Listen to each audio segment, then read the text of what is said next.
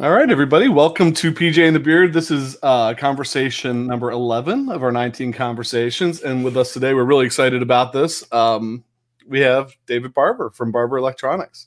How you doing? All right, everybody, welcome to PJ and the Whoops. We're working. yeah, that thing is that drives me crazy. Um, so yeah, how are you, Dave? I'm doing well, considering, you know. Right, right. So th- this is interesting because we did an interview with you. Uh, there's actually two parts. There's two interviews with you out on the channel right now, and then recently we did one of your pedals too. Uh, and you were kind enough to come over here. We did it when this was kind of pre social distancing, and he was able to come over and hang out with us when we got to know David then. And so now to have you back, this live thing is really cool. Uh, so if anybody's watching yet, you're able to ask questions. We're able to, you know, it's really to let him kind of communicate with you. Uh, but before we get into that, two things that we've been doing with this 19 conversation things is we've been starting with kind of like an artist of the day that somehow relates to either the guest, something that we like, or something that's going on, and then a pedal of the day. So I'm going to pass it to Pat. And we're, we're kind of saving David for a second to get a couple people in here, but I see Brian Landreth is already in the chat. Uh, and I think we were interviewing him the one day. He was hanging out with us the one day when you popped into the chat, Dave. Yeah. Yeah. So, um, what do you have today, PJ? Yeah, so you know we've been doing this, and part of it was maybe guitarists that I knew that Jason didn't know, or ones that we recently heard of, and they're under the radar. This is far from under the radar, as many of you know from seeing news feeds today. Uh, we got a little break from our normal news to hear that Bill Withers passed away you know, who did uh, "Lean on Me" and "Ain't No Sunshine" and a, lot, a million songs you've probably heard. So we just went out and um, pulled a clip of one of his live performances where he's playing guitar. Honestly, I didn't know as much about Bill Withers as I should, but so our little featured artist for today is Bill Withers on the on tragic passing of him today. So here it is. About 30 seconds of that, right? All right, I'll just let it keep playing. I, am going to go back. I posted the video, the link to that in the uh, chat, and I saw Magic Matt popped in. Austin Brown popped in over on Facebook. Ken Geist is in the house. So, um, pedal of the day. We we are not even going to show any pedals today, Pat and I. pedal of the day obviously goes to David Barber. I brought the guy, the guy who makes them. yeah. Okay, I got a bunch here. So, um, okay, I'll start with what would have been an exclusive. Um, this was going to be the new direct drive. Ooh. Oh, nice. See if I can get my. I like the color. You had said that you had one green and you were waiting on that, and this does not seem to be coming to fruition. Oh no! I really, I really wish it was. Uh, but the company that's been trying to make it for us has been trying for six months, and they're having a problem with kind of a halo. You can't see it here uh, around the uh, the graphics, and I don't know why it's so hard, you know, but um, it's turned out to be a really difficult thing. So we may have to change the graphic up a little bit. I'd still like to keep this color blue. I, like I don't know how well it comes off there, but I like that deep blue. I think that would be a nice change. And uh, the knobs are a black uh, knob with a brass bushing, and uh, even though they're plastic, they show up real well on on stage, and that's turned out to be something about knobs that um, was kind of almost unexpected for me. People for a long time wanted cooler looking knobs and cooler looking knobs, and so we eventually went to these um, aluminum knobs like this. But as you can see, it's hard to see the pointers, and when you have bright stage lights, you really can't see them because they're reflective. And so I had a lot of people that would get the ones with the uh, silver knobs like this, and they'd say, "Can I buy a set of the black ones from you with the uh, pointers on them that are in white because it's easier to see?" So here's one. I'm, I'm really blowing all the cool pedals I could have been showing. Um, these are uh, this is a gain changer uh, expanded, so that's a GCX, and uh, that had the black knob on it with the white pointer, and that's still you know, a lot easier to see than the silver one, as you can see where the, where all the settings are.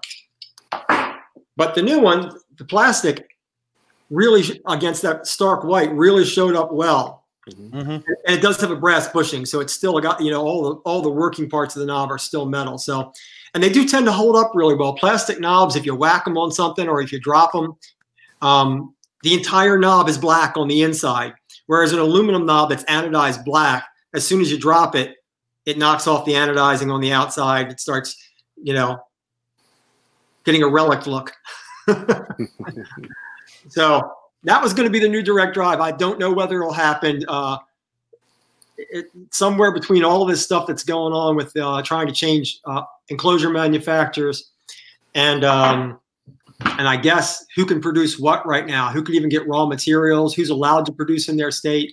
Uh, seems to be affecting whether that's going to happen. So I just want to go on record that we're okay with B stock if if it comes to that. Yes. Jason. Uh, Yeah, well, yes, you know I want a dirt drive. we'll take a limited edition uh, B stock.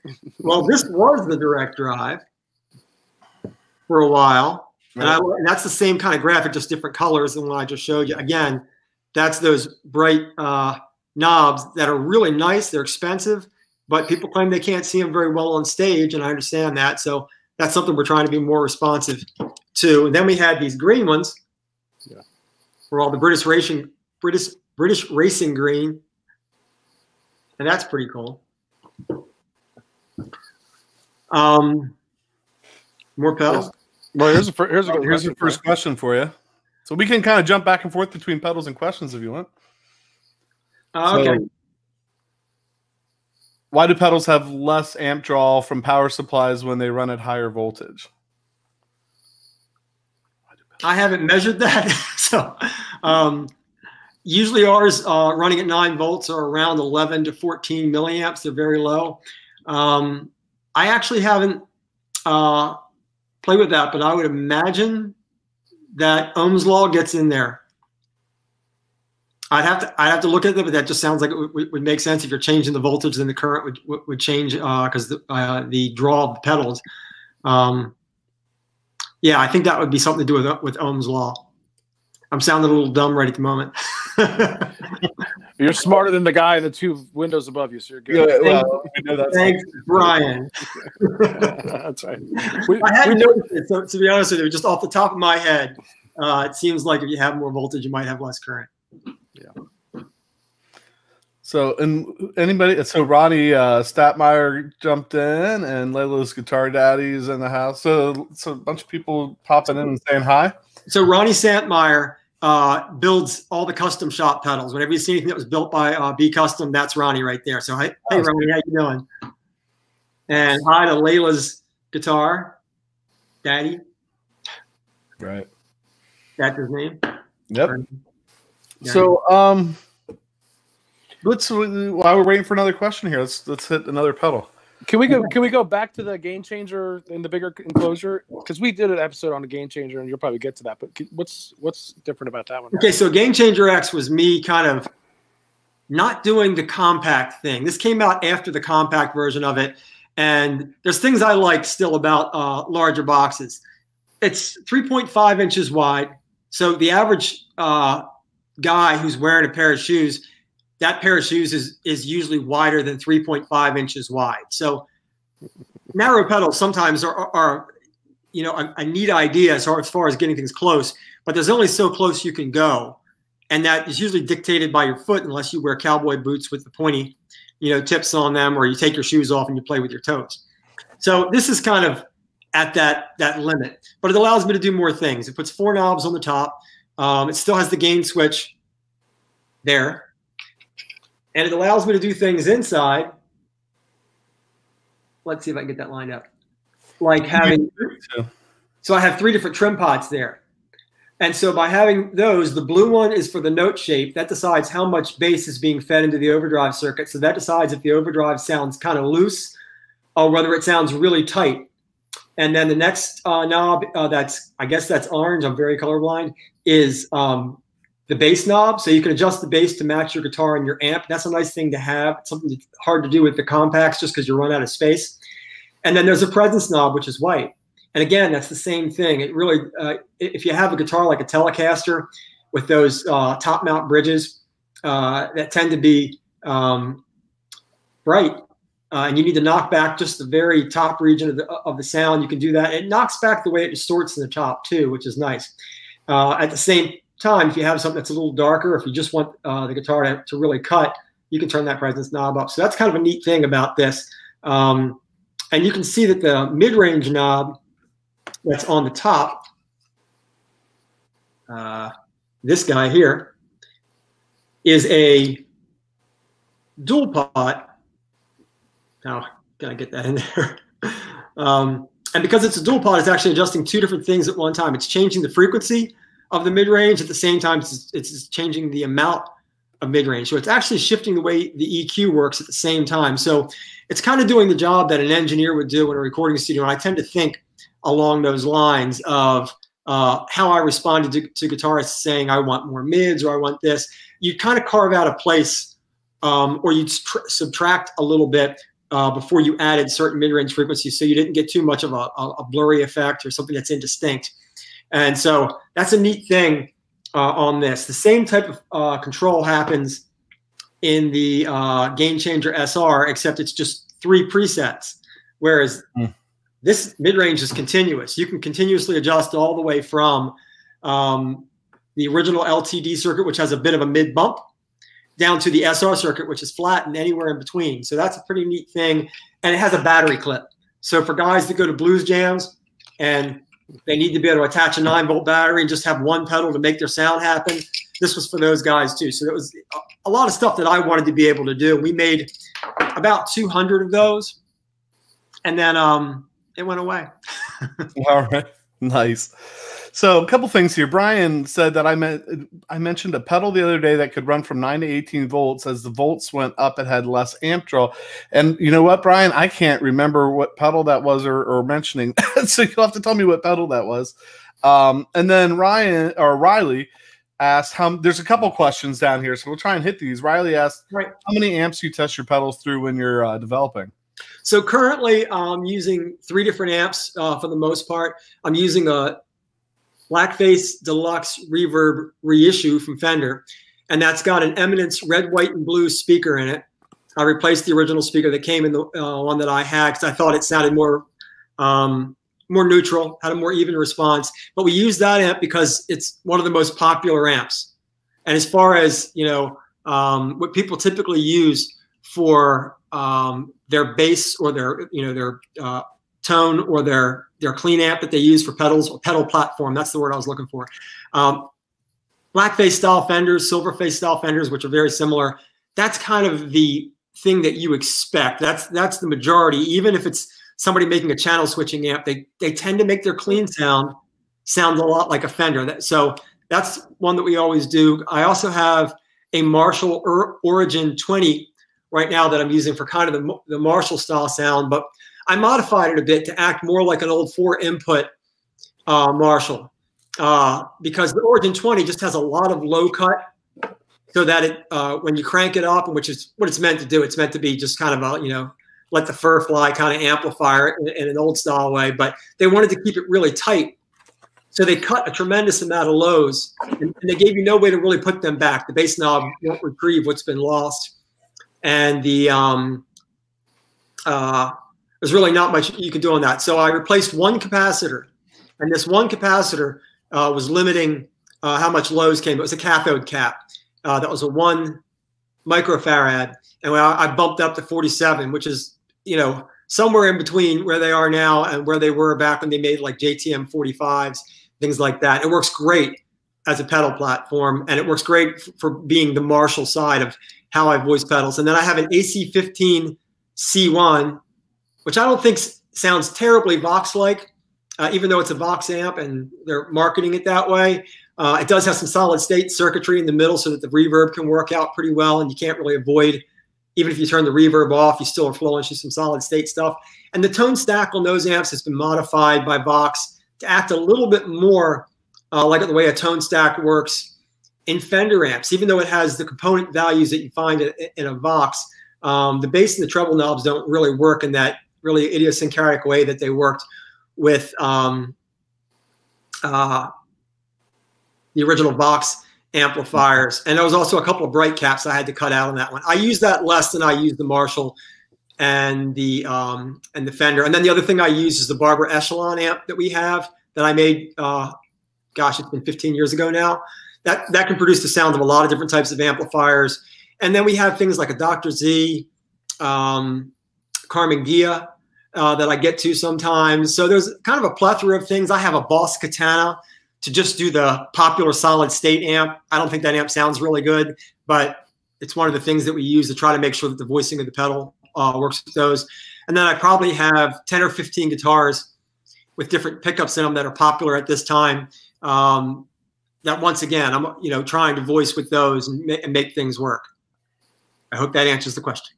I think um, two things here. Well, there's another question. Though there's there's a couple other questions, um, and then what uh, Brian was talking about that pedal that I showed. I don't know if you'll be able to see that, but on the back, um, it talks about if you run it at nine volts, it takes 450 milliamps, 12 volts, 250 milliamps, and 18. Okay. So that's where he was.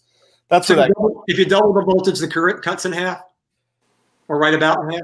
about in half. Yeah, that would Well, sound my- like the way Ohm's law works to me, but I could be off on that. Who makes the pedal? Uh, that's a Hampstead that makes like amps, Hampstead amps and stuff. They're out of- Okay, it's all analog, yeah, I think so. and it draws 250 milliamps. says at nine volt, it takes 450 millivolt That's a lot for a solid state pedal. Is it not a solid state pedal? The tremolo, I don't know. It's a tremolo. I'm thinking it's all analog. Yeah. Yeah, it's an analog tremolo pedal. Wow, that's all. It's actually the uh, it's actually the tremolo circuit they put in their amps. Ha! I have an interesting answer to uh, Mike Mc- McKiani. I'm not know if I his name right. Mhm. But um, if you'll give me a second, I can respond to his question. I have to leave for a second. I'll be back in a minute, less than a minute. Do it. I'll be right back. Um, Jason will write you a hall pass. So, um, Austin had a question here. Can you explain the best way to set up your pedals on a pedal board for ultimate optimal sing single flow? Wow, can't speak. Um, and I, I'm sure David's answer would be better than mine, but maybe the same as you know. We've always been that kind of uh, drive pedals into delay into reverb.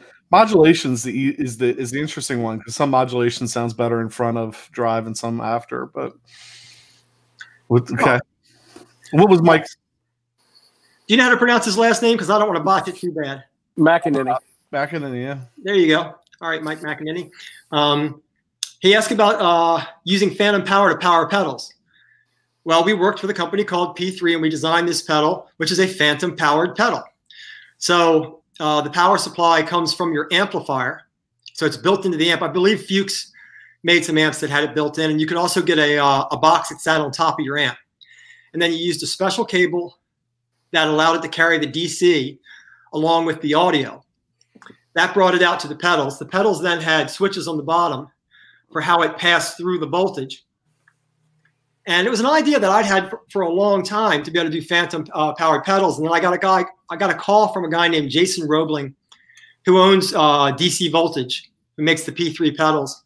And um, he was looking to talk to, to designers of pedals about making um, their own designer series for his phantom powered uh, pedals. So he had bought the patent or he uh, paid for the maintenance of a patent that had existed previously, and then he made some changes uh, to it. So he owned the, the, the, the patent on this. So that's why a lot of manufacturers aren't doing it because it costs money to be able to do it. And I think that's one of the things that's, I would guess, has hurt um, how uh, common this has become.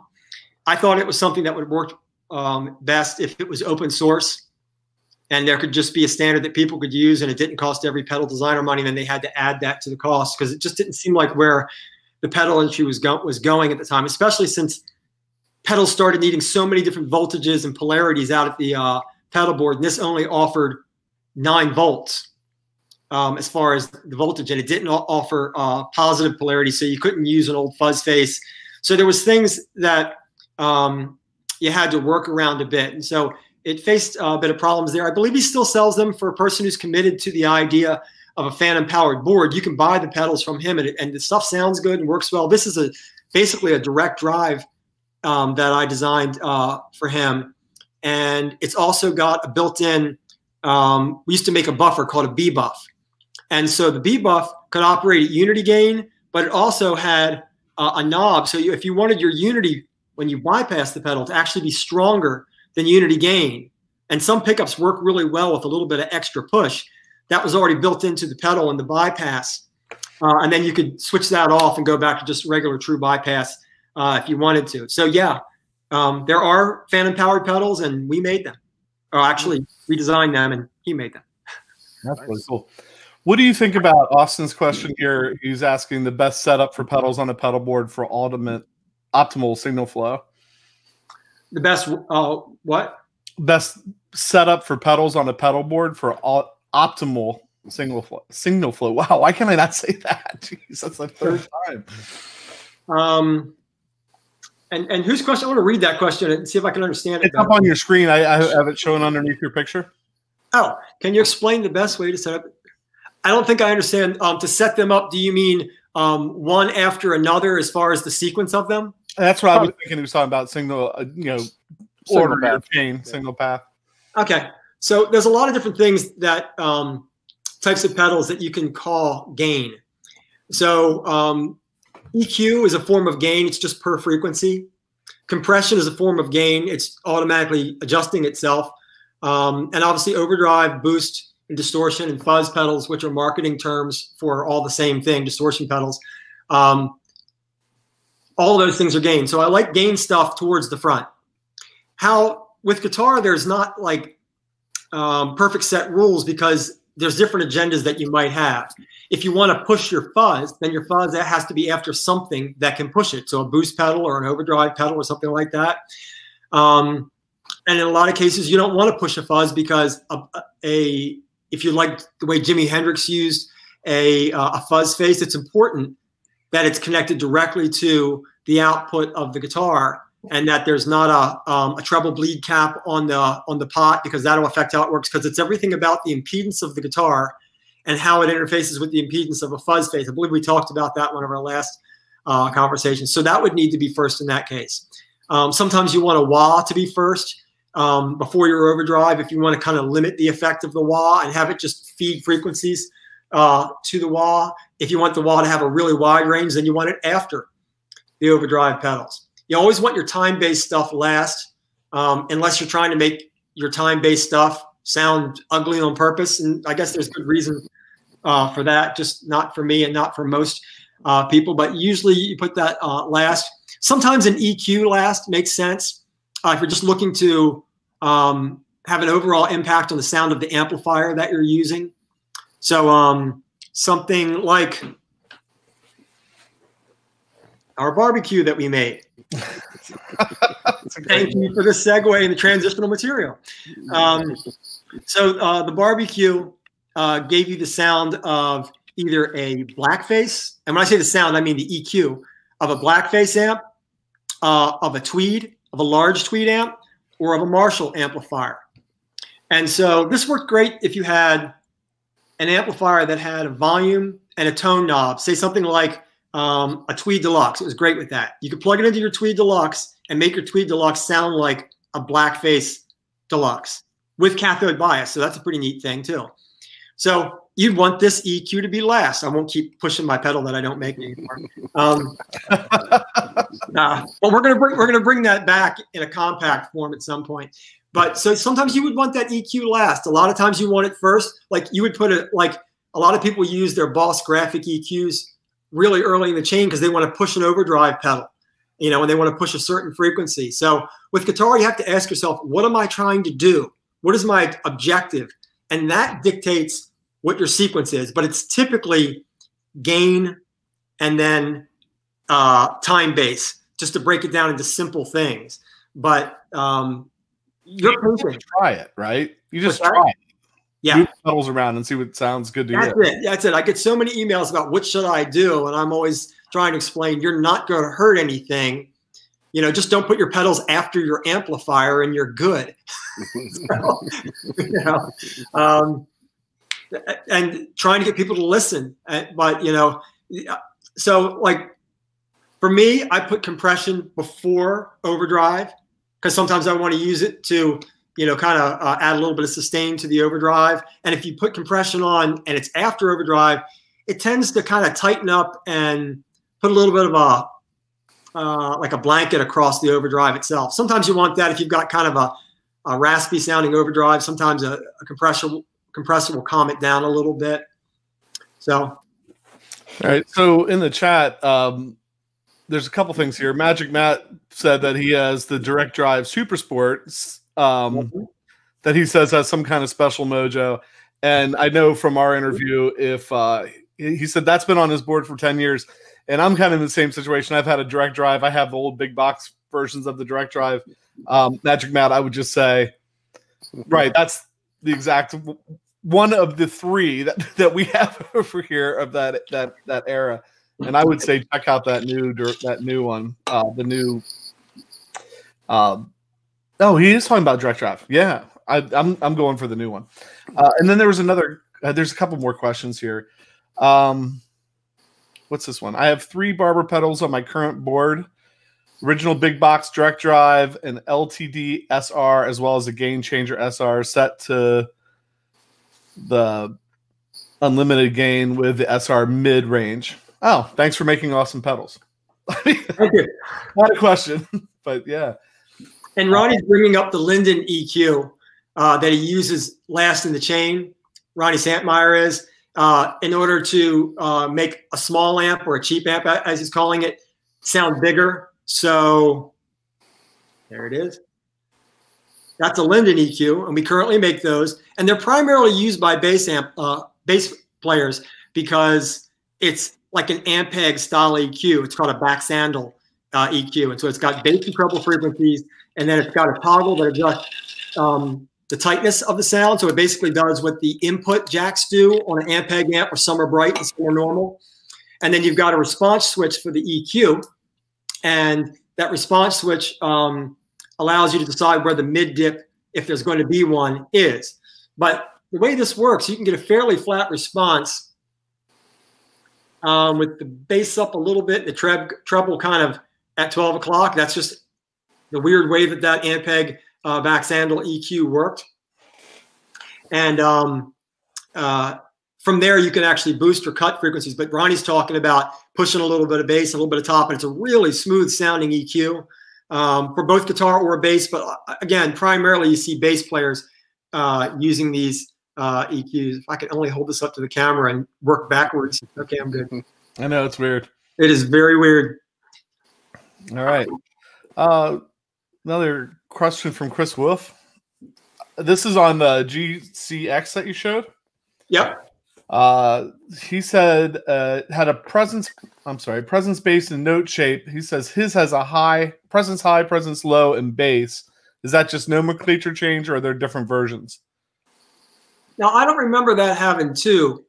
Maybe I made a version that way. I just don't remember it right now. Um, there was a gain changer, or there was a half gainer. I brought so many props. Um, Good. Um, and uh, I believe some of these may have had more than one presence knob. That this one's got note shape, presence, and bass, and then a mid-range knob on top, like the GCX did. Um, I guess it's possible that I made a GCX with two uh, presence controls because it did have two different levels of gain, and for each level of gain, you can have a separate presence control. So it, it's possible uh, that his had that. I just don't remember it. I got hit in the head about three weeks ago uh, while walking my dog and got a concussion. So it's possible that I, I really did. So it's possible that I'm kind of brain farting on this a little bit. So I would have I would have predicted you to have a concussion based on your aggressive mountain bike riding, but no, I had to stop mountain biking because of this silly dog that attacked me. Um, but I'm, I'm, I'm slowly coming around, but but I really could be not thinking straight about that. I just don't remember having uh, our direct drive dual channel, which was a, a, a dual pedal like this, where it had a on off and a channel switch. That had two presence uh, controls on it for sure. I just don't remember this pedal having it, but it, it may have. I mean, the GCX may have, I meant. Brian asked, uh, on the very high gain pedals, it's fun to play with the sustain and touch sensitivity, but it's a fizzy mess. Is there a way to get touch and sustain on a lower gain pedal? Uh, maybe stack it with a compressor. Well, the more things that you stack, the more noise that you have. So most pedals that either compress um, or overdrive or distort, a lot of them are multiplying.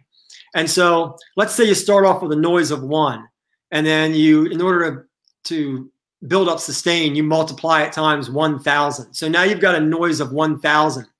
And then you put another pedal behind it that multiplies it by another 100. So the noise can become you know pretty extreme with that. So you're trying to, um, you know, and, and in that example, we started off with a noise uh, noise level of just using the number one as a representation. That would be pretty small on a scale of things if like very noisy was considered to be a thousand, but it kind of gets gets away from you as you multiply things. So you want to try to get as, as the complete gain product that you want from one one device whenever popular. This stacking has gotten super popular. It's been around now for over 20 years.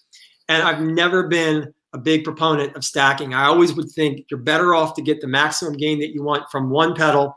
And so our dirty bomb was just for that. Love it. but wait, there's more. there is more. And so the dirty bomb was meant to have the kind of gain that you would expect to get from stacking two pedals and it had a great name. It did not ship overseas very well, um, as you can imagine. With a name like that, customs took some time when we were shipping overseas. but um, but it was fun nonetheless, and it had a sub bass trim pot on the interior. If you can, that guy right there, and uh, that could get pretty thumping. It could uh, get you into the territory of like Foo Fighters type sounds and things like that. So you could get some pretty uh, strong uh, distortion out of that. But as far as controlling fizz, while a lot of you know, guitar is a pretty ugly thing in the first place. If you if you properly set up the impedance to plug a guitar, even a great vintage guitar like a 59 Les Paul or an old 52 Telecaster, if you plug it into a mixing console uh, with, with a direct box, you tend to have to do a decent amount of EQ and usually some compression to keep it from sounding pretty rough. And then the overdrive pedals that add distortion to them aren't making the sound a lot prettier. What usually happens is it hits the amp and it hits that speaker that has really limited frequency response and that rounds everything off. That's the kind of the magic thing at the end.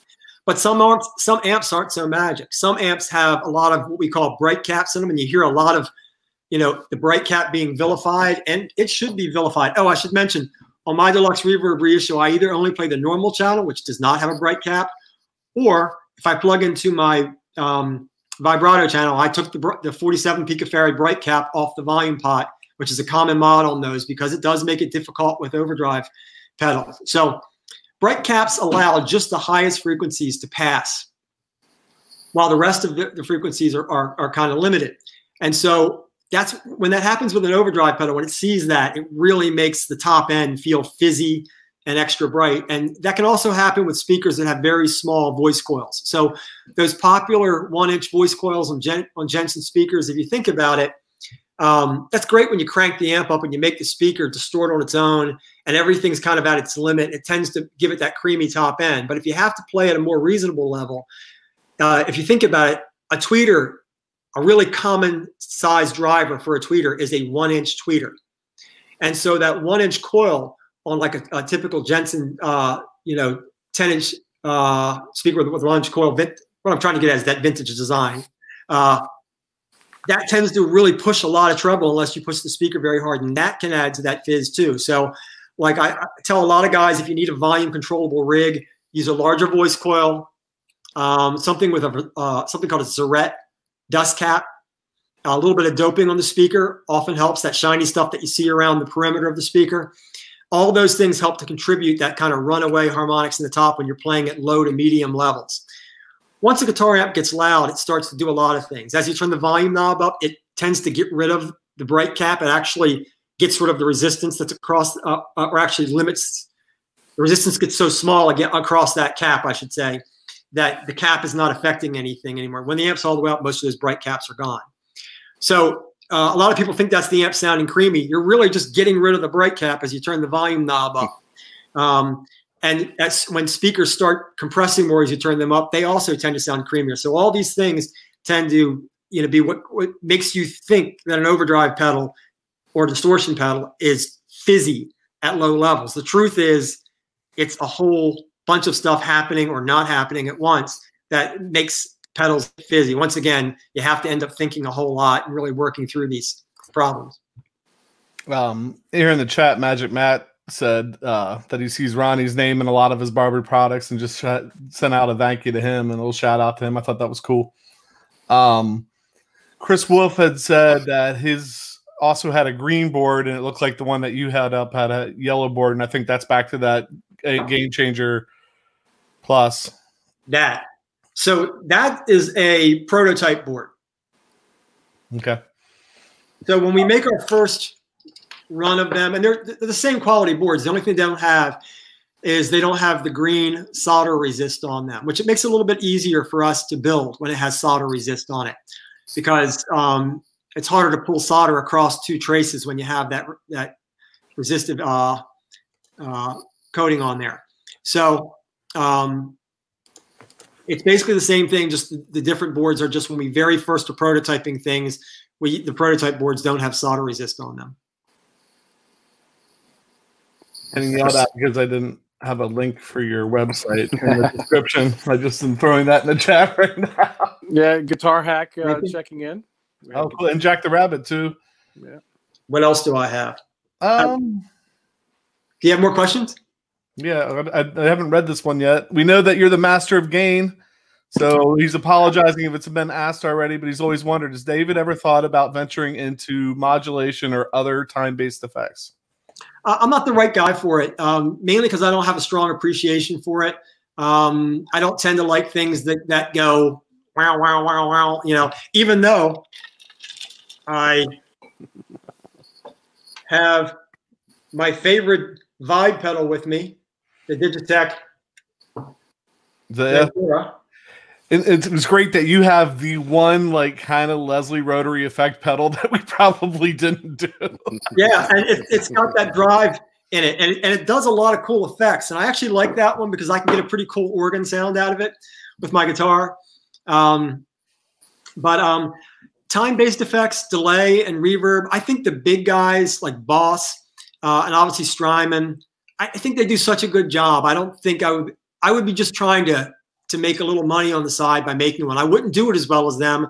And my company's not big enough to, to get the custom made chips and things and uh, to program those chips um, to do it, to be honest with you. I would just be completing my pedal line and rounding it out.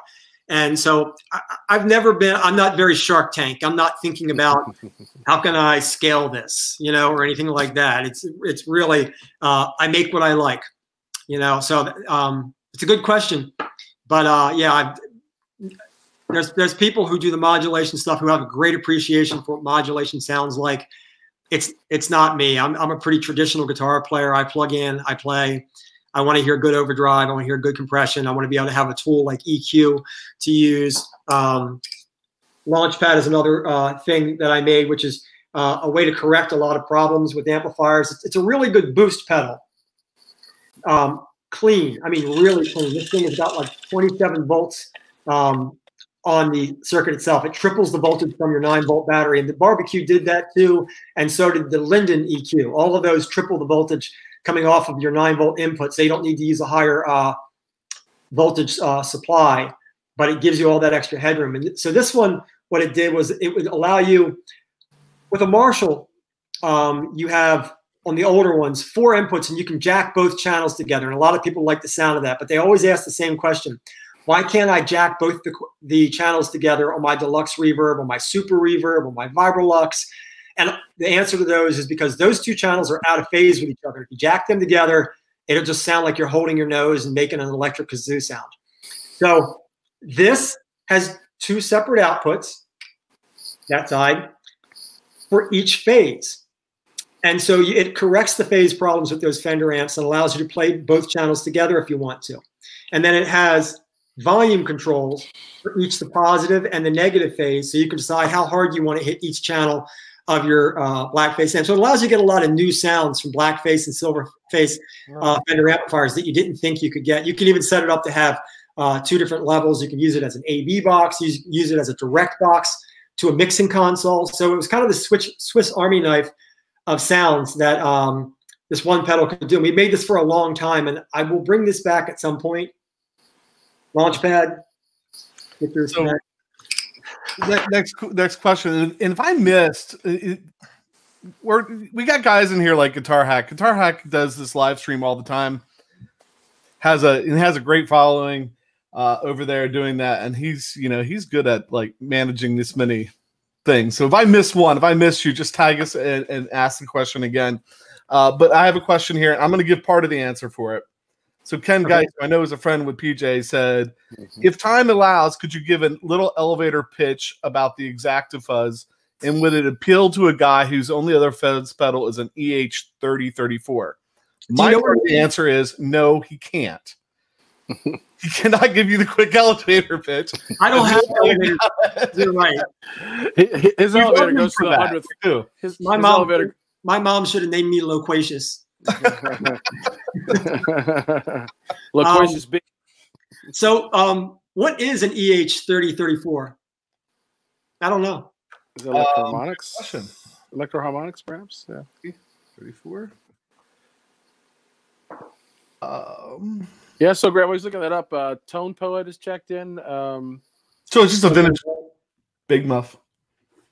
okay. It's a big muff. Okay, so we made the the um, trifecta, um, which was three different versions. We talked about this before on one of the other episodes that we did of basically vintage big muff style circuits. They weren't all made by Electro-Harmonix. There was the triangle uh, sound that was in there, but there was also sounds from the Vox big muff clone and from the Supa uh, big muff clone. And I wanted to not just have those three sounds. So, so you had three different types of uh, big muff sounds. I wanted to add some of my own things to it. So what I added was um, a sludge control, which is a great name next to fuzz, you know, sludge and fuzz. So that decided how much bass was fed into the circuit. It could make a fuzz, which is typically very sludgy, um, sound a lot smoother and allow you to, to get more use from the EQ control. And then the other thing we added was a flat response switch for the tone control. So that's all been repackaged into the Exacta, which is good for you. And um, it's got a three-way selector switch for the sludge. So you got your three different levels of full on, somewhere in the mid, and, and cut back, and that allows you to get more use from your tone control.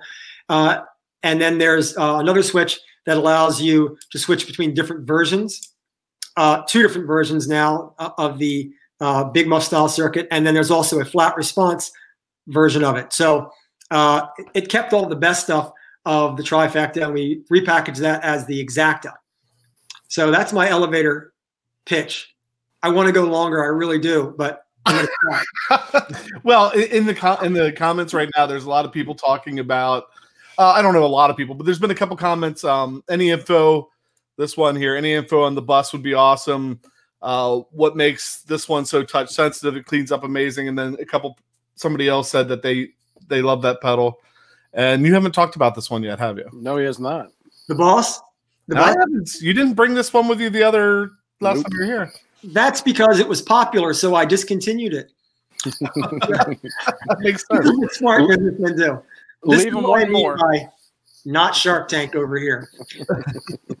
so um, the bus was. You'll notice the fonts are slightly different on the logo.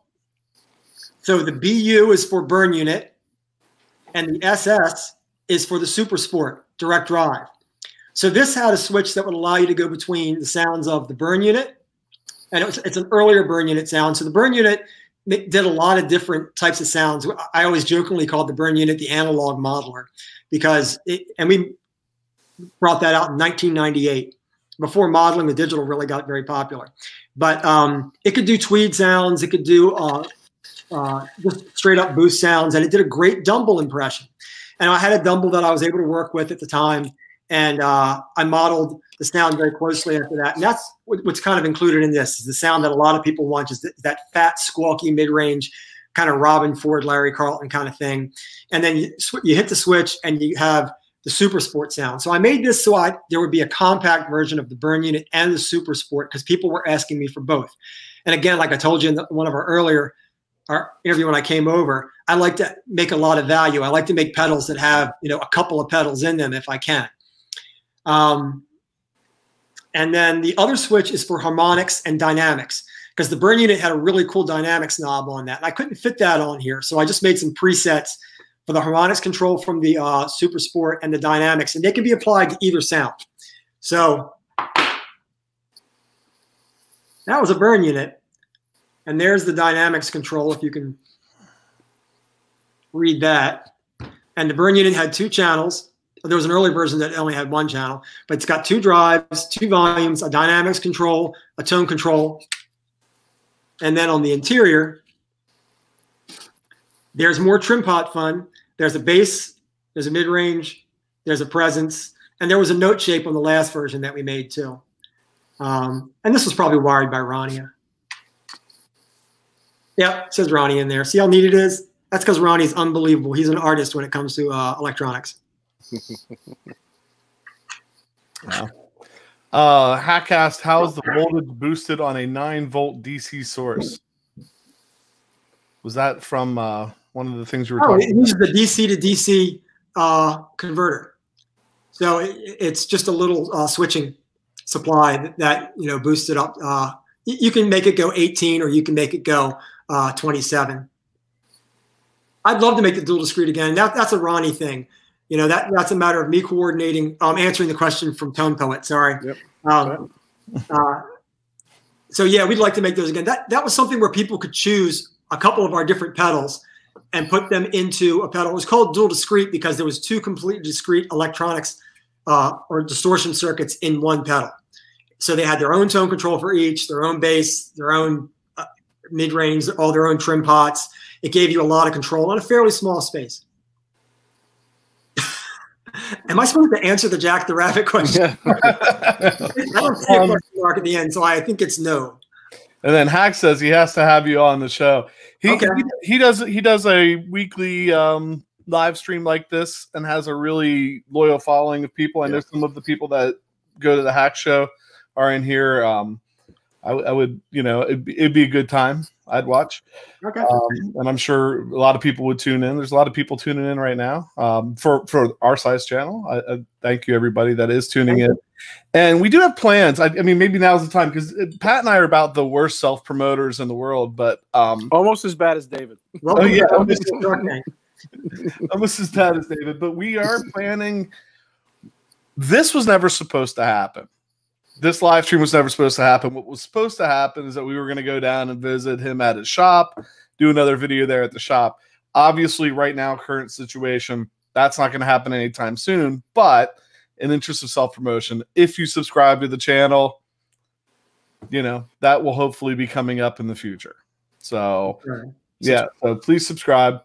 Um, everybody go what's to say? Everybody go watch the interview. Yeah, definitely go watch his interviews. I mean, if you like this, we did, like I said, we, yeah, he came over. We were here for a long time. It turned into two interviews. Uh, it's in two different parts. He does, you do, David does some deep dives into some of this stuff that, you know, if you want to know more about it. Um, oh yeah. And we're only, we're only about, thanks, Brian. We're only about, I don't know, 80 people away from, from a thousand subs now. So, uh, we're looking forward to that. And to that point, thanks to Hack uh, Music Therapy, Laz uh, said he's here because of Hack, so that's good. Glad you guys can join in and tap into the wisdom of David Barber. And here we come to a very nice and unique compression pedal. Yeah, that, is that is that a new color for that? I like the dark. You're killing this, Dave. Like you came over to your. Oh, you're. Oh, there you go.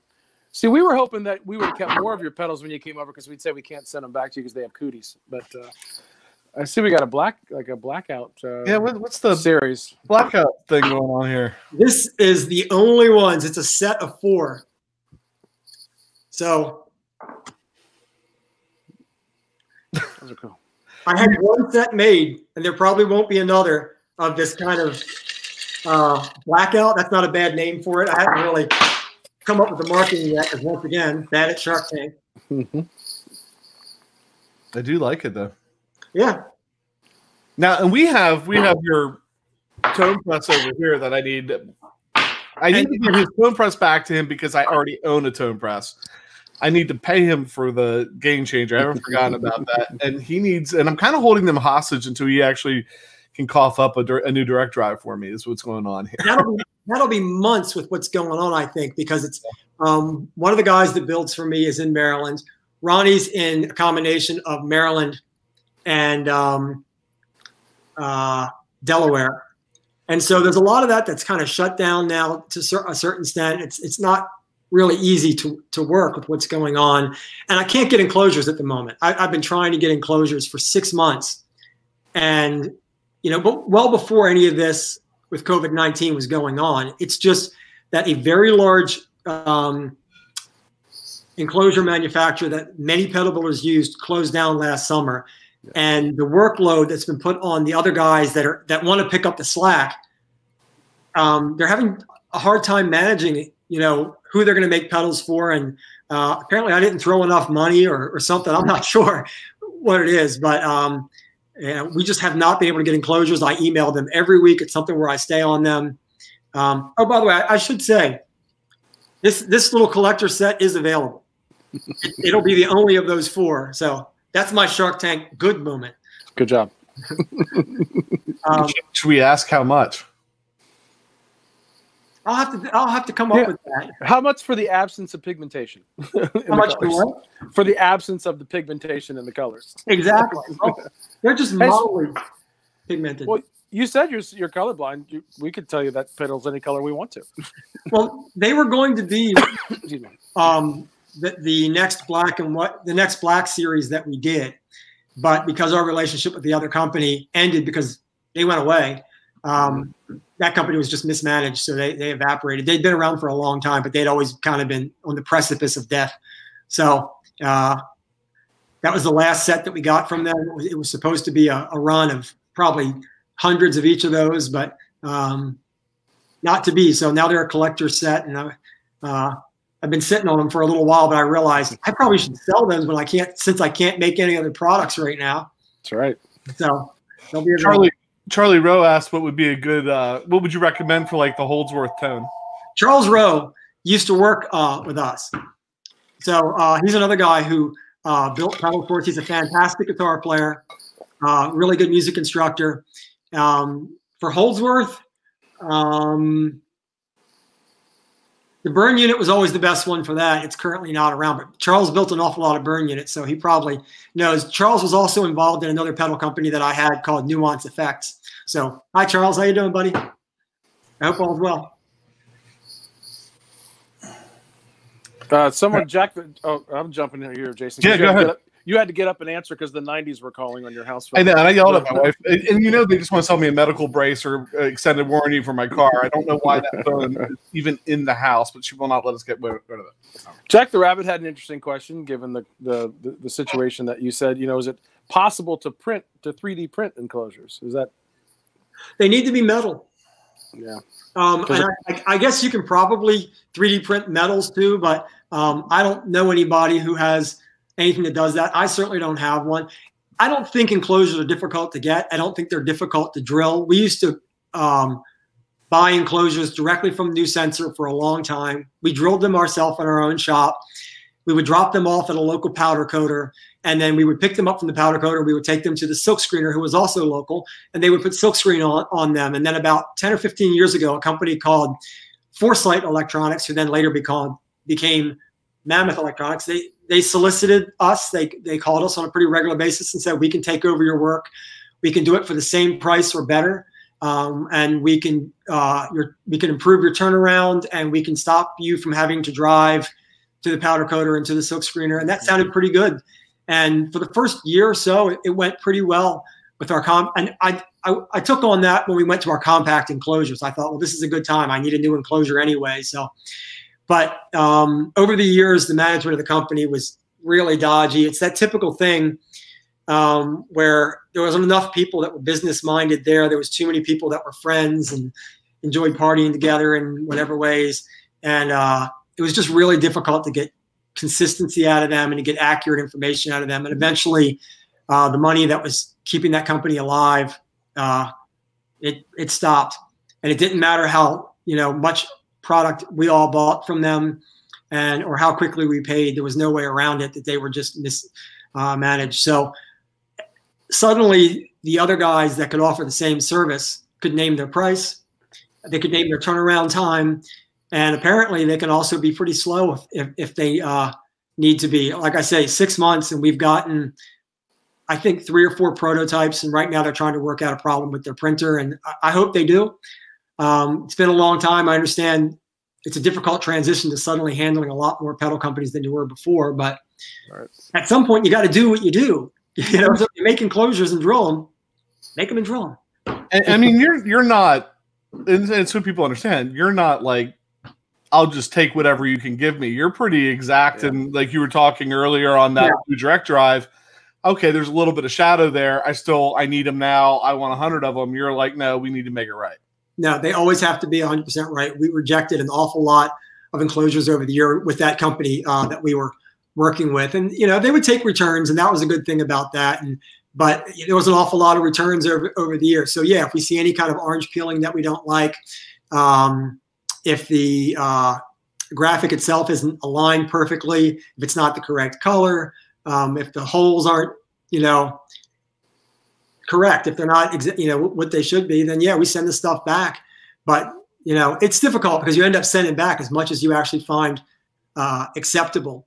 Um, I hope that's not going to be the case much longer. There's a couple other guys I have a choice to go with. You know, just a matter of finding somebody who's more responsible um, and looks at this from more of a business standpoint uh, and not this is a fun party time. You know it's not a party when you can't deliver. Right. Yeah. You got to have money to party, right? I think you have to fight for the right, actually. Yeah, I've heard that somewhere. nice. So, do you see any other questions popping up, Pat? I just see a lot of like positive comments, and um, there was a new name. Yeah, you saw Mark Legacy, I guess. Uh, and then I can't see there was like a blackjack guitar nut. I think it was a new name that I saw here. Uh, yeah. Oh, there you go. Someone's asking about T-shirts. So you know. Oh, and Jack the Rabbit said they they have uh, metal 3D printers. I, I, I was aware that there was something like that, but yeah, I mean, in general, uh, in order to produce the pedal that costs what our pedals cost, uh, the entire product, um, what I pay for it needs to come in around ten bucks. So when I'm buying them in quantity, the enclosure, the drilling, the powder coating, and uh, uh, what they call digital print, total, ten bucks. That, well, that's not always easy to, to get. I mean, there, there's a, it's pretty, and that's a die cast enclosure. You know, I mean, die cast enclosures. Uh, I mean, that that's one of the prime reasons that Bill Finnegan doesn't make the old style Klon anymore. That he probably could sell for a thousand dollars or more a piece, no problem, is because it was such a pain to get those die cast enclosures made custom. So I, getting something. I'd be, will, like I'd be willing. To, I'd be willing to melt down my 1970s uh, Hot Wheels collection if you need to like make some. that, that might be worth a lot more than what a typical. I, uh, the enclosures before they're painted, before they're uh, drilled or anything like that, they're usually like four bucks knock off. Mm-hmm. So you know it, it, it's. Um, yeah, it, they can't be expensive. My cost, if you want the pedals to be able to sell for you know 140 bucks, you know, at the store. You know, and that's what I that's what I wanted to get into. We're all grateful that you're cost conscious because you don't like the word boutique, so I, but I have to use it because it's the one that makes the most sense for what the how you build your pedals and the cost of your pedals is amazing. Like it, it is it is a deal. And so for you to like really scrutinize all of those elements to make sure that you can continue to produce a high quality product and still keep that price at an attractive point is is a great. So you you say you're not great at the Shark Tank thing. That's brilliant.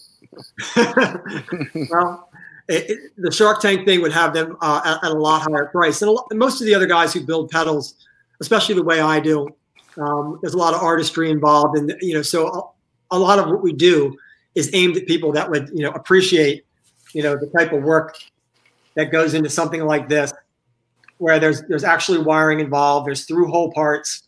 And you know uh, aside from the debate of whether a through hole part or a surface mount part right. sounds any different or whether they function any different, it's still a type of artistry You know, uh, a, a, person could easily argue that a factory built guitar is no different th- than one that was constructed by a luthier that, you know, that does every little bit by hand. But, you know, it's the artistry as part of it. And so to be able to bring in a pedal uh, or an electronic product that's made with all that artistry and all that uh, care and the number of steps to make sure that uh, it has really good quality control at that price. It's it's really difficult. There's not a lot of profit in it for me and for the dealers I work with. People should know they don't make a lot of money. It's it's it's not. So for anybody who's thinking about becoming a dealer, I just killed myself um, on that one. You won't be making money. Um, but you know, so I work with dealers that are also uh, pretty good about you know not trying to make you know double their margin or more. You know that's well, not that's not something that's available on our because that's one of the reasons why they you know can make it to customers at the price that they do. Kind of speaking around that question, my my pal Ken Guys chimed in and said, "What's the best way to purchase your pedals? For you know, do you you do a little bit of direct sales? You do dealers? Like, what is the preferred?" Yeah, so we can sell them to people direct. Um, all they have to do is email me, and I send them a um, a PayPal invoice. They pay the invoice, and we ship them the pedal, uh, usually by the postal service, priority mail. Uh, and then we have dealers who take all kinds of credit cards and uh, fancy types of uh, payment. Some of them offer free shipping. We don't offer free shipping. Um, and uh, most of the dealers I work with tend to try to keep pretty recent stock. I have some guys like Music Toys orders from me almost every single week. Uh, Gear Tree orders every couple of weeks. Um, and uh, I'm having a little bit of a mind meltdown at the moment. But there's, there's other dealers; they're on our dealers page. Um, but you know, there's some guys who buy from us every single uh, you know week, uh, and so they have pretty recent stock. But yeah, so our dealers page is one way to find uh, products for buying directly from us. Uh, there's not a lot of stock at the moment. I mean, it's easy to sell through when you can't get enclosures and when you can't make anything. Right. So a couple other uh, that Pat got the one. Uh, the other two things. There was two other things that I saw in there that I wanted to mention. Well, first of all, Uncle Bry wants a camouflage camouflage version of the gain changer, but I, will get right on that. right. Uh, send it to me. I'll get a marker out, and then we'll send it out to Uncle Bry. Uh, but uh, there's great profit in making just one of something. yes. in this last hour, you become a marketing genius. That's the yeah, benefit, really, the value that we add. And then there was one other thing. Oh, I can't remember. It's weird. Oh, the t-shirts people want t-shirts. The people were asking if they can buy t-shirts or where the t-shirts are and telling you to get on some t-shirts. Another another bad Shark Tank moment for Dave. I don't have any merch, and everybody tells me I need mugs. Oh, I mean, uh, yeah, I saw what you were wearing. Yeah, Josh from JHS, he sends me merch. See, that's know, only fair. I, I JHS works because I don't have my own. So that's only fair. JHS promotes other people's pedals. You're promoting JHS's right. pedals. It's beautiful. So you know, Josh is good at the Shark Tank thing. I'm bad at the Shark Tank thing. You know, so that's why I'm wearing his merch and not my own today. That's right. But I'll, I'll try to get on that. Uh, I probably can get shirts easier than I can get enclosures at the moment. So right. maybe, maybe I'll be more of a merch salesman. Riley uh, is asking if if there's any he said maybe he misunderstood. So is there any way to get direct drives right now? Or are we are you totally out? uh, you have to uh, contact a dealer and see if you can get them. We're at least two months behind on them because we may have to since this one is probably not going to happen. I mean it might. I mean the guy might get his printer fixed and he might be able to get rid of the little halo uh, that we uh, that he says is showing up around the direct drive logo. Actually it's showing up around the edge of the blue if you can see that, there's like a slight halo effect uh, to it. And he's trying to get rid of that.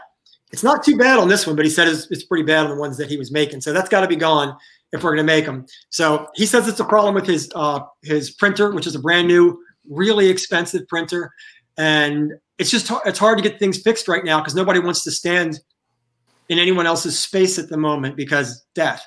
So um, There's always that, yes. Um, so you know, I'm sure as as things improve, um, maybe he'll be able to get someone to come in and try to repair his machine. In the meantime, our artist, whose name is Bronson Wagner, who I should give a uh, big shout out to, who makes pretty much all the graphics that you saw, um, with the exception of only a, a few of the older ones.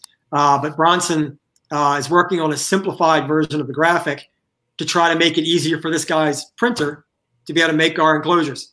If we get that done, then within like two months, we might have uh, direct drives again. If the if Ronnie can uh, drive from Maryland to Pennsylvania to pick up parts, if Britt Steele, who's the other guy who builds with me, can drive from Maryland to pick up parts, and they're allowed to build, you know, it's going to be a lot of different things. I mean, I can leave the the raw materials that they'll need on my porch and not go anywhere near them and do the no hands, you know, no contact, you know, handoff and stuff. But you know, there's a lot more uh, logistics to work with right now to get it straightened out. And I, uh, I kind of imagine that the people that are making the enclosures might at least be partially shut down because they're they're not answering emails this week. Mm-hmm. I am. Right. I answer emails even though I have. I, I'll tell you what I have at the moment. I do have Gain Changers still for sale in the cream color. Hello, cream color. And I do have tone presses in the mint turquoise, and that's the V2. I have those in stock, and dealers have those in stock. Um, I have one gain changer in raw, which is a clear coat over um, the raw uh, uh, diecast, and I have um, I have Linden EQs. These are good at the end of your signal chain, from what I understand a little bit earlier, and they're great for bass. So I want to interrupt real quick. Um, when if you're interested, if you're waiting, if you're like me and you're waiting for the new Barber Electronics Direct Drive to come out, I have noticed over the years that when you get these things, they're going to go up on your Facebook. Yeah, you'll make people aware. So going to his Facebook, I mean, just go to Facebook and type in Barber. I, I know I didn't put the link in the description, but if you type in Barber Electronics in the Facebook, you'll find the page Barber Electronics and Be Custom. I think is what it's called on Facebook. Um, follow his page, and when he has them in stock, he'll put them up there and let you know. And sometimes you get like those special one-off things, or you you do post some, you know, special runs of things and stuff like that too, right? I'll, I'll, I'll probably be putting some um, one-offs. I'll be putting up these on the Facebook page as a set of four. Um, uh, and some other things that I have that are unique around the shop. I'll probably be putting some B stock stuff up to keep things fun. Um, and I usually save that stuff. Normally, what happens is throughout the year, if I have any B stock, and we don't tend to have a ton, but we do have some, I usually save it for the Black Friday sale. And that's usually like a big party for a couple of days, and we have really good prices. But this might be a good time since people don't have, since everybody has only $1,200 um, I figure this might be a good time to uh, make those things uh, available. Yeah, the um, stimulus the stimulus check was made uh, comments a couple times during this chat, and it's been lots of memes out on the internet that they know what the musicians are going to do with their check. So, oh, send, right. Please send use it to David Barber. yeah, that's right. It's Barber, B A R B E R. Send it right to David. this is what you do. Are we out of questions? Well, uh, somebody was asking about the website again because I didn't. So I was going to throw that in the uh, barberelectronics.com. it's, um, I'm helpful. Uh, the there is a question. Jason's trying to multitask. Uh, Magic Matt was saying, uh, will the blue direct drive be different than version four, other than the color? No, the V4 um, I'm still loving that, and it seems like everybody that, that's getting those is really uh, in love with that with that sound. I mean, that really covered a lot for us. It allowed me to introduce um, the new four input style sound, which is definitely well. There went the beard. Um, He's back. He'll be back. That's his um, good side. Oh, I, I like it. um, I needed water. Um, so uh, that's got that four input sound, which is more like an old JTM 45 type sound or like an early uh, uh, like EL34 style sound, depending on the amp that you plug it into. I mean, because the amp has a lot of impact, whether like the direct drive is providing a certain type of texture and gain structure, but your amp is deciding, you know, what kind of response, how dynamic is it, um, what type of EQ structure exists. I mean, the amp has a lot of impact on what an overdrive pedal sounds like. So does the speaker. I mean, a really good dealer that I used to have used to always have this joke uh, when people were going through their um, trying to buy, they, they, would buy amps from him. He, he was the sole salesman for Clark Amplification. And he would always tell them, well, the speaker's the only part of the entire rig that makes a noise. And that people overlook it. You know, people think that the speaker isn't important, but it really shapes the EQ. It shapes how fizzy it is. It shapes um, if it's going to be tight. Uh, it definitely shapes whether it's dynamic or not. So, um, you know, it's one of those things that I can make an overdrive pedal that does, you know, certain things with sustain and with texture, but there's a lot to be said by that final speaker and also by the way the amp shapes it. And so that's a really important uh, factor. Yeah, one thing you learned in our interview with David is he repaired amps back in the day and has ripped them all apart as well, in case you can't tell. But Jason's got his. Uh, I was just always- grabbing that, which is which I like, which is not the original. So the original one of these that I bought, I actually drove down to your shop and picked up from you, uh, and I think it, it was a it was a it was a B stock because I don't think the screws on that one will screw in, and so I have like electrical tape holding the back plate on. That would make it a B stock. and I think I paid full price for it, and you were surprised by that when we talked. And I was thinking about it more.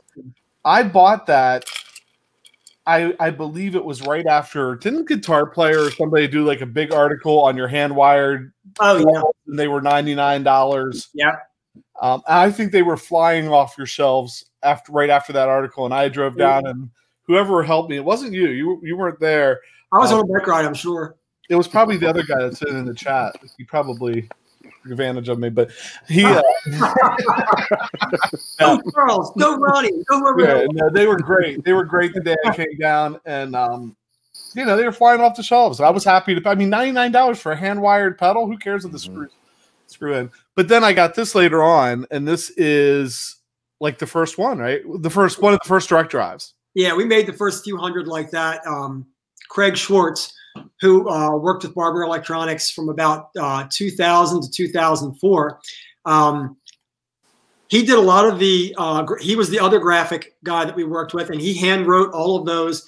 He designed the look of the Echelon amplifier. When you look at our amplifier on our Facebook page, there's a picture of the amp that we used to make. Um, all the all the graphic look of that, all of the radiuses of the Tolex, and the that was all you know, uh, Craig's design. And, and, he's a fantastic artist, really good guitar player, and has a great ear. So he would, it was it was great having him there because he could listen to things and tell me, you know, uh, how he felt people would respond to it. It's always good to have somebody to kind of bounce ideas off of. Mm-hmm. Yeah, and then Pat picked. You know, we have so we and then the original one falls somewhere in between. So we have like three of these kind of original ones. That's why I'm dying to get my hands on the version four now. I you know I've made up my mind. I have to I have to move on. Yeah, well, um, so one other thing I'm, I'm hoping to do at some point, just like we made this GCX, I'd like to make a little bit larger enclosure version of the direct drive at some point. Obviously, we can't get anything right now, so it's not going to be anytime soon but I'd like to make like a direct drive pro or something like that that has more knobs, um, allows you to have um, a knob for adjusting uh, the, the mid range, probably the uh, uh, note shape, uh, bass, and things like that. So uh, I like the idea of making expanded versions. Some people just really like to tweak. I'm one of those people. There's just no perfect pedal for a, for any specific guitar, amplifier, and player. And so the more adjustments that you have that are useful, the, the better chance you have of making a pedal that can be that overdrive pedal for, you know, I wouldn't say everyone, but for a whole lot of people, for covering more. Uh, the less knobs you have, the less switches that you have, the less versatility that you have, the more you have to hope it mates to the right amp, you know, and to the right player and, and, and so forth. I mean, it's, it's, uh, you know, I, I spend most of my days in my shop not doing anything that really, you know, amounts to products. It amounts to me learning about with each guitar what I have to do to make it work well. And I, I tend to have a lot of guitars that come through that I can work with and listen to, a lot of different pickups, a lot of different players that come through that I can also listen to how they sound. It's amazing what it takes to really dial something in. And so, yeah, that V4 that you're talking about, they're going to be hopefully back sometime in the next couple months. But I'm already thinking, you know, of, of while keeping the V4, making kind of an expanded version of that eventually too. I, I just kind of can't stop myself with overdrives. yeah, well, and Pat will tell you that I'm. I, I joke like I have a three knob kind of limit. Like I, I I'm simple minded maybe when it comes to that. Give me three knobs and I can I can get what I want out of it. And so I was kind of afraid of all the switches and stuff. But then with the gain changer, it's easy. You know, I mean, you, you flip them until it sounds the way you want it to sound, and you're yeah. right. It, it was nice with that pedal. And actually, what I found is it's not it's not eh, it's not a search to find the sound that sounds good to you. Yep. A search to figure out which one you're going to use best at that moment, kind of thing, because they yeah. all sounded good. They all sounded good to us. So, um, and that's the way that Direct Drive V4 is. It's really easy to find a few different sounds you might want to have on stage, and and a lot of what people end up saying to me is, "Can you make a way to that I can switch between these? Can I have a foot switch?" And again, that makes pedals have to get bigger. You're asking for real estate. Most people don't want more real estate. As a matter of fact, before I even came on the show today, I had a guy that uh, on our Facebook page that said, I, I don't think I can make the show time wise, but are you going to make a mini version of the gain changer? I saw that. Yeah. So, you know, all you can do is say, yeah, of course we've thought of it. You know, people ask us to make mini stuff every day they have for the last probably close to 10 years. But it, in order to, to make the real estate that small, you're down to three knobs at best. They can't be great pots in that small of a space. Um, you can you can put t- toggles and things on, but it does tend to limit how good that stuff's going to be, how well protected it is from your feet. I mean, and it's this is high end audio that you're stepping on. Right. You know, people want this stuff to look like art and then step on it, and then be high end audio that you step on. So, you know, I'm being a little, you know, kind of tongue in cheek about it, but it, there is that that I have to be the person that, that keeps that in mind. That you know, only so much will fit inside the interior of those mini enclosures. A lot of people look at them and say, "There's more space," and I'm like, "Well, look inside. You've got these quarter-inch jacks that are enormous. they're off. They're already offset from each other, right? Yeah. And they're huge. I mean, for where we're going with pedals, the quarter-inch jack is the wrong tool for the job. Mm-hmm. It doesn't need to take up that much space on the interior if you want to be able to make the best use of uh, of those mini pedals. I mean, that's one of the big problems is when you look inside, you go, well, the foot switch and the two jacks have taken up all the room. I got a tiny amount of space to put a circuit in there and a little bit for pots, you know, and so how good can the quality be? You have to be really careful with it and understand what you're asking a designer to do. I mean, the designer will, of course, do a good job of marketing it to you and say it's the finest quality available. But, you know, if it's a hundred bucks, then maybe it's really good, but uh, finest quality seems unlikely. I like I like that. Uh, give up their entire paycheck there for Regan Taylor for the expanded direct drive. So, and there was a couple other comments on um, Adam Butler, 100%, I guess, for the expand. So, yeah, people like the idea of the expanded direct drive. Okay, yeah, I'd love to do it. And um, I guess the other thing I'm, I'm contemplating is whether I do it in more of a format that's double like this, so I can put a lot more knobs on this and have a second sound that you can foot switch to. Now, as soon as you make something like this, um, this has got a, a, switch over here, the channel switch, that allows you to, to switch out the volume, so the output level, and the, and uh, well, this was the output level over here, the volume, and then the drive level um, for two different channels but you're sharing the tone control, the mid-range control. You're sharing the whole circuit, and that's a similar thing that I would probably consider doing on a Direct Drive Pro um, that had two two switches because it allows you to make a much more reasonably priced unit. As soon as you have completely independent tone controls, you start getting into a pedal that has to cost 250 to 300 dollars instead of something like this can cost under 200 bucks and that's where most people want to be sweet spot wise is they don't want to spend $300 for a pedal. I mean they do but you know especially from us they're often thinking come on dave bring on the good stuff for next to nothing you know? Right. so it, it's hard to uh, you know do all that. So that's where the dual discrete used to come in. The dual discrete was for the guys that would pick two different overdrive pedals that we make. We used to make a lot more um, and then have them put into one unit by ronnie. Um, so there's a lot of different philosophies. There's a lot of different things that people want there's a lot of different, you know, ways that that could be priced. But whenever we can make a lot of something, it can have a better price and still be as high a quality as anything on the market or better. So somebody asked earlier if there was other overdrive. I, I think you've actually answered that question. That like, is there other uh, other overdrive pedals that you're making your drive pedals? And I know right now it's the Gain Changer, it's the direct drive, the Exacta Fuzz. Um, but yeah, there's other pedals coming. So if you've been and I've been following Burn unit. electronics for Burn years, unit. Burn unit's the number one thing we get people asking us to bring back. right? I probably should make that before I make a pro version of the direct drive. So, uh, but I mean, it's cha- like there's always changing. There's always kind of new pedals. There's always uh, just from the, the time that I've been following for years. It seems like if you look today at what you have online, it's totally different than what it was ten years ago. Not totally, but considerably different. You know, because you had the burn unit and other stuff like that. Yeah, we used to have 14 products. We used to have the B buff, which was a buffer you could put inside of any pedal. Um, we had dual discretes, and there was all kinds of, of choices there. We had the tone press, the trifecta, um, the edge hog, the deep fryer, which was a bass overdrive, um, burn unit, barbecue, uh, launch pad, dirty bomb. List went on. Uh, all kinds of LTDs. We had the LTD Silver, the LTD, and the LTD SR. We had the direct drive low gain and the direct drive uh, SS, and then the standard direct drive. All of those things got repackaged into, you know, a gain changer. Is three is four different versions of the LTD. You have an LTD, an LTD Silver, an LTD SR, and the Unlimited, all in one little box now. And that's why there's you know that decision anxiety of which sound will I use because I stuck you know four different pedals into that.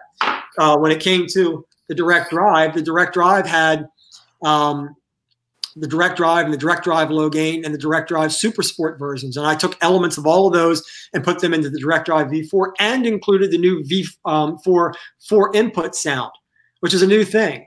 And uh, the fact that you have uh, mid range switching now, you didn't have mid range switching available in direct drives before. The only way you could get mid range uh, was an adjustment um, trim pot on the uh, SS, which was on the interior. And then also we made something called a direct drive dual channel, which I have one somewhere around here, but I couldn't find it before we uh, went live. Um, and that had a, a mid range control on the top, like the um, like the uh, half gainer did. I'm so glad I brought these props. Yeah. Somebody said, um, well, one question was, could you put the direct drive, the Super Sport, and the direct drive low gain into one box? Well, that's kind of what the compact is. What I was just saying. I mean, that, Yeah. that really uh, combines the sound. But could you have three of them for three different sounds to set on? Yeah, of course you can do anything. But so far, uh, Doc Holliday is the only person who asked for that. So that makes it a really expensive pedal. Can I, can I make a suggestion? And I, I- think it's a reasonable suggestion. If you want to be able to run your gain changer on the low gain and the high gain and be able to switch between them, buy two. Yeah. They're, I mean, they're $149, which is a really reasonably priced pedal. They Um, be 139 actually. 139 so i mean you're you're you're still cheaper than some of the uh pedals out there that would have channel switching if you buy two so Yeah, as far as the pricing, I try to come in at a price that you would typically see on like a nice Ibanez um, tube screamer. So you can buy their like 808 or their reissue of the TS9. They're probably around a buck 40, a buck 50, and they're made overseas. They're not made anything like the artistry of our pedals. And so that that's always my mark is to beat them at their own game. Do what they can't do. Because what do they charge for a hand wired one? You know, once they finally do something that's more like what we do, and and without anywhere near the tweaks, not nothing is nothing against Ibanez. I mean, obviously, they made this. you know, this Yeah. industry is Ibanez and Boss. So, but as far as you know, what we can offer uh, as a smaller company is we can be uh, more responsive to what guitar players want. I mean, I'm a guitar player. I spend most of my day playing guitar um, and thinking about what I like to have when I play in the studio, when I play on stage. What would other guys look at and think that's cool? That's what I want to have, you know. And how can we fix the problems you know that exist? Talent boost switch. it doesn't work for me, so maybe it'll work for others. But yeah, I'll work on that. Uh, real quick, I, I I know we're we're way beyond the hour, but we, we're very happy about that. We knew we would be. Uh, lots of engagement. We appreciate that. I love um, Adam Butler's question. Uh, it's interesting sometimes to see pedal engineers team up. Is there another pedal builder out there that you would like to work with? Oh yeah. Yeah. Um, anyone? I, I wouldn't say specifically. There was a time that Paul Cochrane and I uh, discussed making uh, a pedal, a type of boost that he had designed. Um, he stayed really busy with um, the Timmy and things like that. Uh, and Tim, and Paul's somebody who I really like, so it, it would have been fun to work with him. Um, but it just didn't. It, the time didn't work out in logistics. Um, there's a there's a lot of them to be honest with you. I mean, I mean anybody who's more popular than me would be obviously good for me to work with. So you know, uh, I, would be happy to team up with, with any of the guys that sell, you know, 30 and 40 and 50,000 pedals a year. I'd be crazy not, I'd be having an extra bad Shark Tank moment if I didn't say uh, yes uh, to that. But yeah, I like working with, with, with, others just to answer that question simply. But I don't want to like start when like when your buddy Josh names and forget somebody. When your buddy Josh got teamed up with Boss, for example. that was unbelievable. I mean, the things that Josh can do. I mean, he played basketball with Paul Gilbert. Yeah, that was great. Yeah. I, I mean, it just amazes me. Josh must must be just one of those guys that knows if you don't ask the question, it won't happen. He must just ask the question, and things happen. I mean, I don't know how many questions he asks where people say no, you know, in order to get the things done that he gets done. But I'm astonished by what he gets done. I'm astonished what he's done in the time that he's been in the industry. Um, he's pretty remarkable. He really is. That's that's interesting. That's maybe a great place for us to start wrapping this up too, because if you don't ask the question, things don't happen. And so this is the second time now we've got to hang out with what I would consider, you know, the builder of my favorite overdrive pedal. So like how often does that Thank you. Yeah. How often does that happen? Um, and it just happens that you live, I mean, kind of close by, um, maybe what, about 30, 40 minutes away. About 40 um, minutes, yeah. Yeah. So it's it's really been fantastic um, to to spend time with you when you came over for for uh, the interview. It's been t- fantastic to do spend time with you tonight. And like, there's stuff that we haven't touched on yet. Like, I mean, there's things that we need to get into. Um, guitar fans, we need to get into like, okay, so what are those guitars? People would love to know probably what those guitars you're using over there are. Uh, this series started out as the, with the idea of being 19 conversations because when when it started, there was still this idea that in 15 days, this whatever it was, I think it's going to end up being more than 19. So maybe down the road we do this again, or we uh, put this all behind us and we get over to your place and to the shop and stuff. Whatever. Any, any of the above would be fun. I really wanted to have some guitars as props too today, but I just didn't have a, a setup and I didn't know what the audio quality would be like if I brought some guitars out and you know, tried to demo some of the uh, pedals. And you can see I ate up all this time just with my my little pedal props that I put on the table in front of me. Yeah, it's really hard to play over the live stream because it does. Even sometimes when two of us talk or something happens, you hear the sound go down. So playing never works that great. Okay. Um, but I mean, just even to show him, like Pat showed a really cool guitar yesterday. Yeah, he did. Is that sitting right next R- to you? RG or whatever that uh, was? That well, I had the uh, 65 SG. It's across the room. Yeah, and he has the. Oh, don't worry about it. I didn't get to see the story on his white SG, but I really liked it. I love SGs. It looked like a, my, is it a junior? Yeah, 65 uh, SG Junior was my grandfather's. Oh um, man, Arctic White, all original, original case. Had the Gibson Skylark amp with it and the whole deal. Oh man, it has like a. I didn't tell everybody, but on the outside of the at top of the amp and outside of the case, he had a a silver plaque uh, engraved with his name on it. And I realized I, I opened the case the other day. My, my son came in who never got to meet his great grandfather. And there was some uh, handwritten song lyrics in there. I don't know if it was, I didn't vet them to see if it was just a song he was learning or something he was writing. But uh, yeah, so wow, it's a pretty special guitar. I spent a lot of time in its case just because I have a lot of guitars and that single P90 was some of the stuff I did. I probably didn't find the home for it that I should, but now that it's back out of the basement and uh, amongst the light, we'll uh, get it out a little bit more. Those are great sounding guitars, and and I collect old Gibson amps. So when you brought up the Gibson amp too, I'm like, oh, that's the good stuff. It, it has a mm-hmm. great backstory, so that's that's really cool. Yeah, thank you. I'm glad I asked about it. So yeah, I, I could definitely break out some cool guitars uh, that I use and, and show the things that I do to guitars to make them more useful for me and somebody uh, might find some some use in, in uh, of, of, what I do to guitars because I'm pretty specific about um, the electronics uh, and guitars and how to make them work better. At least for for me, for for live, I played live probably for about uh, 20 years before I started having some problems with my ears ringing. So I backed off. I don't play live. I don't go see live performances because I want to keep my hearing in good shape. But um, there was things that I did that I realized worked well. It took a long time. Um, like we were, I was doing partial sp- splits on people's guitars for years, and now you see partial splits on PRS guitars to make a humbucker split to a little bit better, a little bit more full sounding, a little bit louder single coil sound. Exactly. Yeah, what they used to have. I was doing that stuff for years. So, and I, I, know other guys were too. I wasn't the only guy. It's you know, it, it's not a it's not a really new trick. It's just a new trick to see on a manufactured guitar, you know, at, at a factory or something like that. It's something that you typically went to your technician to do. So, um, yeah, I'd love to get the guitars out and the amps out and talk about that stuff. So there's another old uh, Gibson amp collector. Oh, Doc that's cool. Yeah. Yeah, I've, I've, got a couple of other projects that I'm working on right now. Um, one of them, one of them is a Falcon that showed up. I wish I had the picture I could put up on the screen, but I bought it from Guitar Center used, and they had it listed in good condition.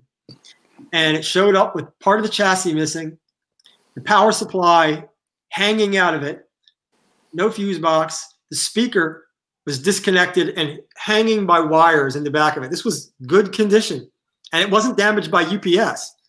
That was just the way it was. So they obviously had never plugged it in. There was rust on the interior of the fuse, of what was left of the fuse box. The part of the fuse box was, was gone. But I'm going to save that one because after they realized what bad condition it was in, um, they sold it to me for strictly the price of shipping, which was 30 bucks. Hmm. So I got this, this, I've got another project, just what I need. If you saw how many projects that are unfinished I have in my shop, it would just, it would kill my Shark Tank mind. So, Ronnie said hopefully they'll be doing some demos on uh, his YouTube channel. yeah, all the mess is over. So Ronnie's got a, a, YouTube channel where he shows people how to use different audio equipment and software um, that he's just started, and he can post post a link to that if he would like, Um, because um, I don't remember the exact uh, link. But Ronnie's got a got a great. Ronnie's a really good recording engineer, and he's one of the better known recording engineers in the area. Does a lot of uh, mixing and recording for, for the for the really the best artists around in our area in Baltimore. And I still consider myself part of the Baltimore scene because I grew up there. And um, uh, he's offered me to, to, to, bring pedals over and do the demos and make some video stuff. And i have been trying to embrace the idea of being on video. And eventually, I'll have to probably learn how to stop speaking so that can work. Or we, so if you click on the three dots next to Ronnie's name in the chat, it will. There's a spot where you can go to his channel and you can sub that. Uh, same with Guitar Hack. Uh, I know that a lot of guys in here have uh, YouTube channels. Brian Landreth, Jack the Rabbit.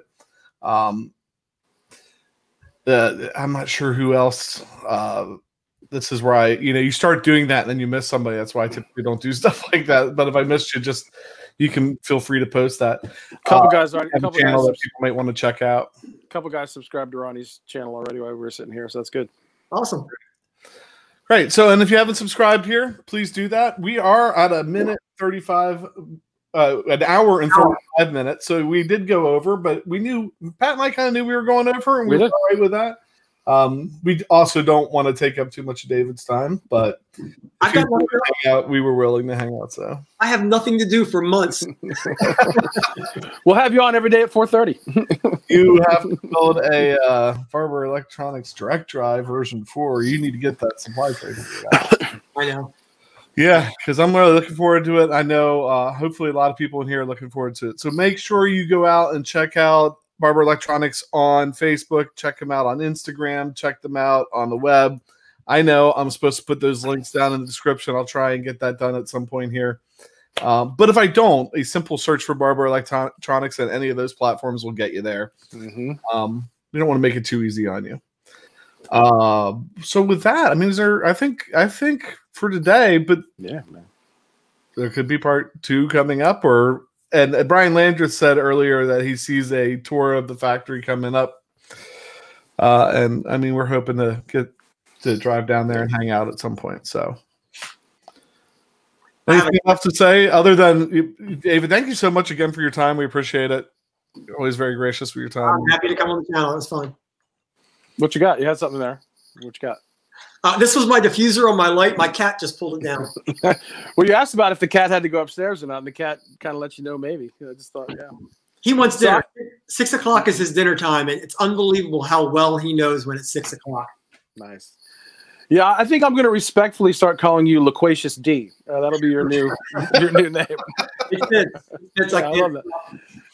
That's good. But we really do appreciate your time. It's great. You know, still just look back to two guys you didn't know. You made a drive into some horrific rain, crazy fog to come over and hang out, and then agreed to do this. And it's really great to see all the interaction with people and all the great things that you're doing and the way you're well respected in the industry. And for you to sit down and spend time with us, we're very grateful and we don't take it for granted. So we really appreciate that.